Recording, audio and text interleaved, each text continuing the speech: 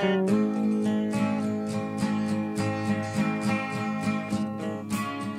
the later forties, when Diddy Levine live with Eunice King? He gave her the ring that she wore. Janice, the smiling daughter who came from a marriage way before. But Eunice was the father that you always saw. Though they never, never, never, never, never, never told her, she always knew the score. You see, kids were so much wiser after the wars. But Diddy hadn't had enough. She had to get some more on a racial piece of paper. She wrote Eunice, I'm not sure.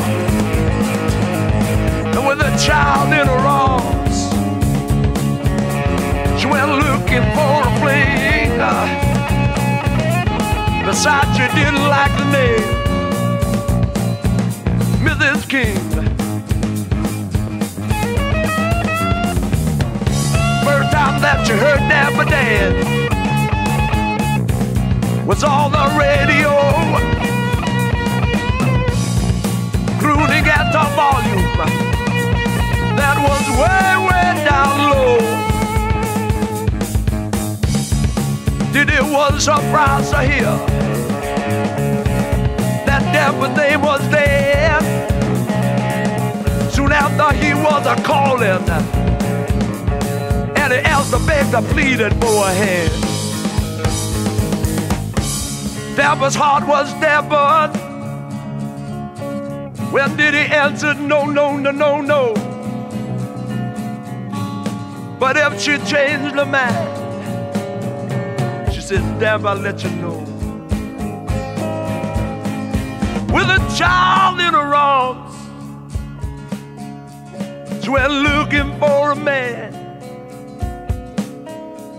Besides, she didn't like the name. Devil dead. Oh, Janice,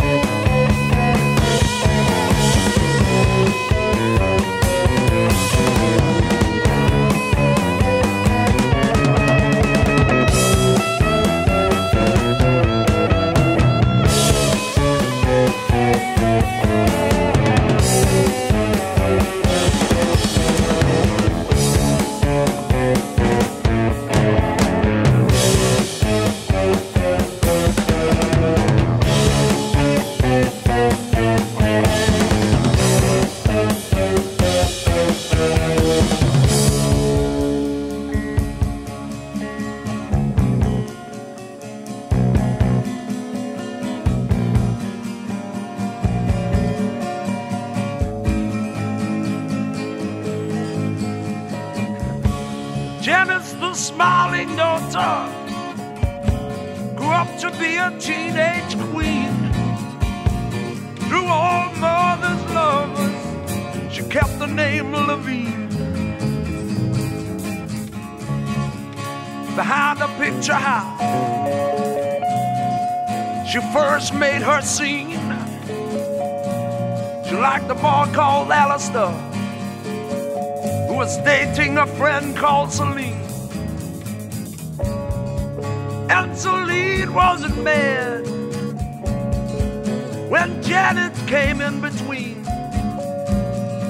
But Alistair got scared when he heard and he joined the USA Marine. Inheritance, you see, runs through every family. Who is to say what is to be is any better?